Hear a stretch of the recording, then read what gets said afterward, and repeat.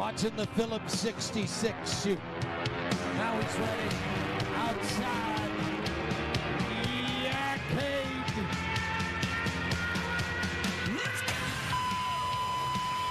That's one we've been wanting, isn't it? Spin out I like it.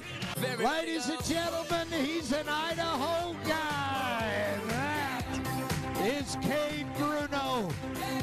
Look at the what happens when you put a good cowboy with a great horse? You get the number one score of the week. 88 points.